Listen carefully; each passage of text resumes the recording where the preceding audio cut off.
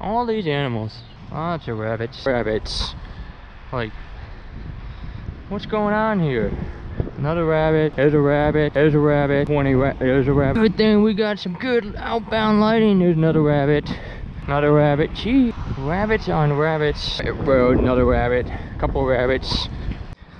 Hey guys, Matt from Outbound Lighting. It is a wet but beautiful night out here. I uh, just thought I'd kind of show you guys what the road edition is like on a road or a what we got is the greenway here out in St. Charles, Missouri. I got obviously the outbound lighting road edition, which this is the one that has the sharp cutoff, which maybe you guys can see it here, how we got just enough residual light up here and then a really intense beam and then it slowly fades out. So basically what that means, you can kind of see a cutoff line out here. So if you're a pedestrian and you're oncoming, you're gonna see a light. A car's gonna see a light, but it's not gonna be blinding you because you got this cutoff line. Now, I hope the camera can pick this up because once you get under that cutoff line, oh, it's gonna hurt. So you get under there and that is, that's pretty bright. Now this is like what most bike lights when they're aimed up with the circular spot. This is just what people see all the time. And that's why people hate you if you've got these kind of lights and you're constantly just riding around like this. But if you got this nice cutoff beam pattern, you can see, I don't know if you can see on my shirt here, as you can see that this is actually letting you put light down on the ground where you want to see because you can see we're you can easily see 50 75 yards. And yet you can be way out here just go running out here and it's not really going to bother you. Now if you get under yeah it's going to suck. So maybe if you're a toddler it's going to suck.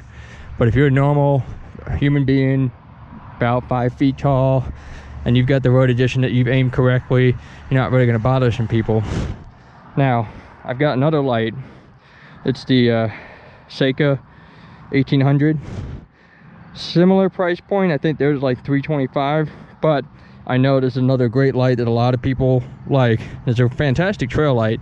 I'm not going to say it's not. But for a road, well, let's see what happens here. So, it is a very bright light. They do a good job with fading it off and all this stuff. And they've got nice fill down here. But the problem is, in order to get the same throw that you got with the road light, you have to aim this Seca up pretty high. And because it's a conical spot, that's the amount of glare that you're getting for anybody who's coming right ahead on you. And that sucks. So most courteous riders end up trying to aim their lights down. So, man, that is pretty, pretty bright.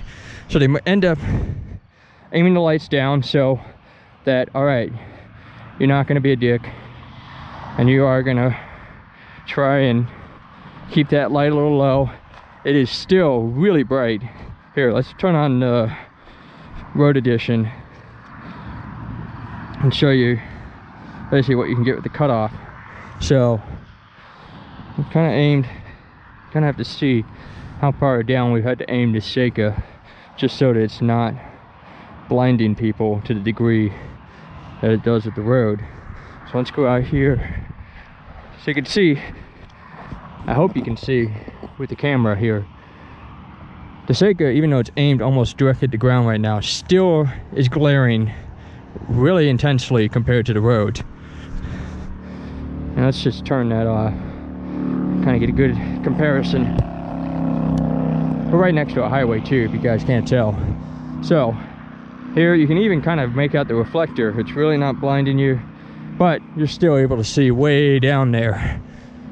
Now, let's turn on the Seca again to the point where we had to aim it look at that you can see how intense this hotspot is and how you cannot quite see as far out there and yet even if you're still coming you're still glaring people quite a bit. So either you got to be covering up the light when people are coming or you aim it down or you put your hand over it. Either way you got to be thinking about it which is not always the thing that you want to do when you're doing 35 miles an hour on a side road or things like that. So that's kind of why I'm not going to say the Seca is not a great light. It really is good for trail lights. Got a nice even hot spot, really nice fall off.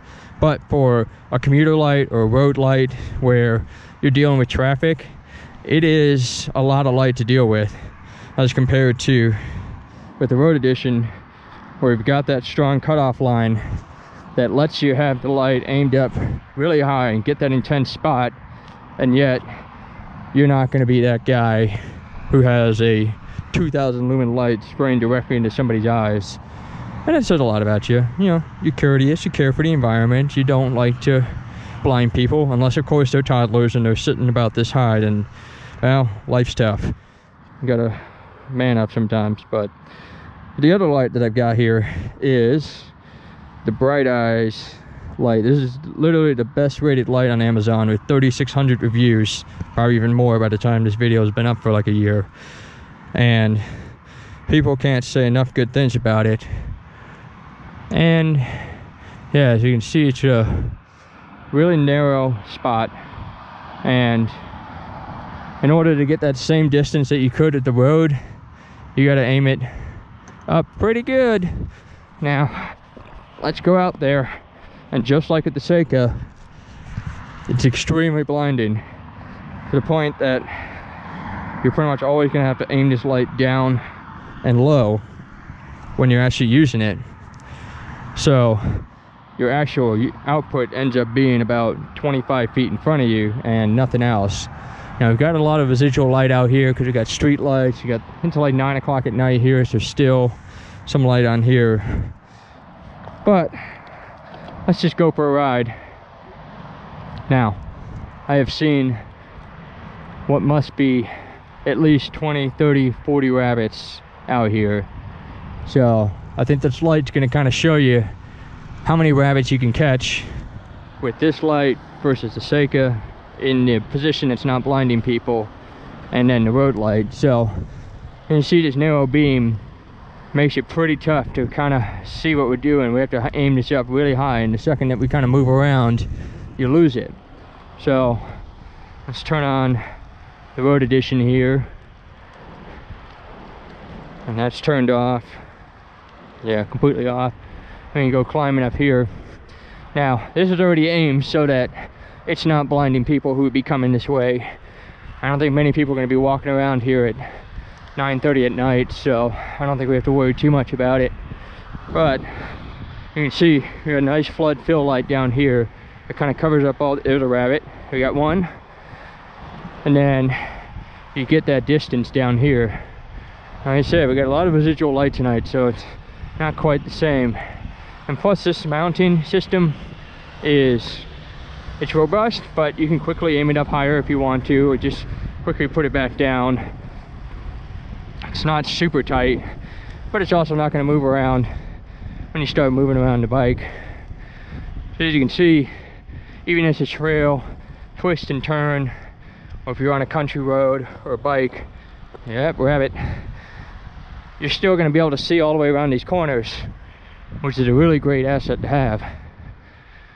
And so now if we turn on the Seca, which we remember that we aimed so that it's not blinding everybody, you can see I do think it's a good light as far as having that nice hot even fill.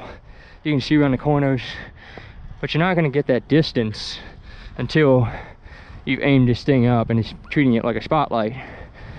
So that's where even though it is a more expensive light and it is putting out I'd say 50% more lumens than what we use but in order to use it as a real road light as in something that's would pass the German laws and things like that as far as cutoffs you have to aim this thing down a lot which kind of negates the reason for having a really strong bike light for it. Man, I am so out of shape just trying to climb up this simple hill. Also, I'm forgetting the downshift. I think. there we go. Much easier now. Let's just do a nice slow climb here. So, we turn on road light again. This actually shows off that cutoff really well. So, you can see against this wall what's going on here and on this uh, stuff around here plus it's a little bit warmer color temperature So on camera, it's probably gonna seem like this is brighter, but this is also a warmer color temperature which a lot of people prefer. I'd say the Seca is probably 5500, 6000 Kelvin. Uh, which again, that's some people's preferences. They like to run that kind of white light. We prefer more of a warmer color, easier on the eyes. It lets your eyes adjust to the darkness a lot quicker. And so, you can see it's just mostly the massive even width that we've got going on here that really just lets you feel way more comfortable riding on a trail like this. I don't know why it's having a trail. This is technically a greenway, but if you can't tell, I'm more of a mountain bike guy than I am a road guy. From I stole my wife's bike, which is way too small for me. So this is uh again Matt from Outbound Lighting. I did all the design and engineering of this light here in St. Charles, Missouri, just outside of St. Louis. You can get your light now at uh, outboundlighting.com just search for the uh, Road Edition bike light. Meanwhile, I'm gonna go and uh, head on back and get back to bed. It's been a late night. So, thanks for riding with me. I'll see you later.